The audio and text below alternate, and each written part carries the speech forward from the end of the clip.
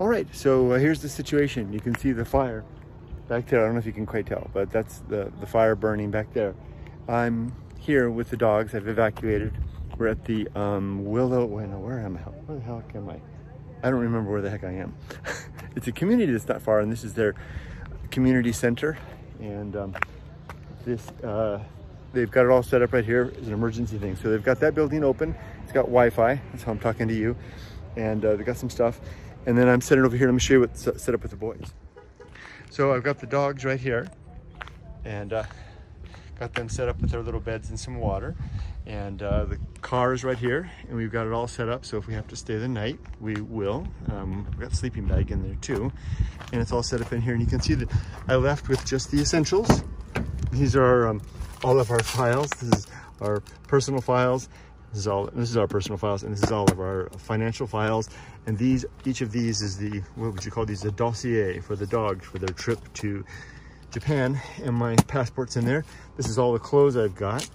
Um, and then I've got my, over here, my work backpack with my laptop in it. And with that Wi-Fi over there, I'll be able to work tomorrow if I need, uh, if I'm still here. This is all packed with dog food. Um, what I forgot to bring was me food. So I don't have any food, but I heard that the Red Cross is coming. So maybe they'll bring some food, some human foods. So I'm gonna make the boys dinner right now. I've got their bowls right here, one more bowl over there.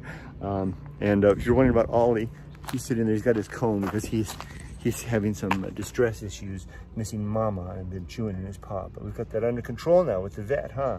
It's a medication, took care of that infection, huh, Rudy? And there's other people here. The place is slowly starting to get more people as they're coming in. There's another truck coming in right now.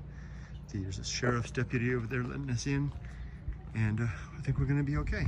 Now, as for my tiny home, uh, I don't know. I basically, it's something to say to have so little in the world that in a lightning minute, you can have it all packed and gone.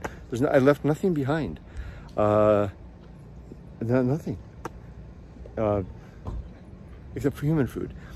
But it's interesting, it, it, says a lot to the, to the state that I'm in in my life when I'm so minimalized down to so much, so little that all that I needed was really the dogs and a couple of bags. And even the couple of bags didn't matter.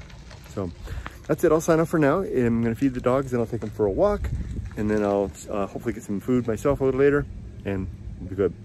There we go, see ya.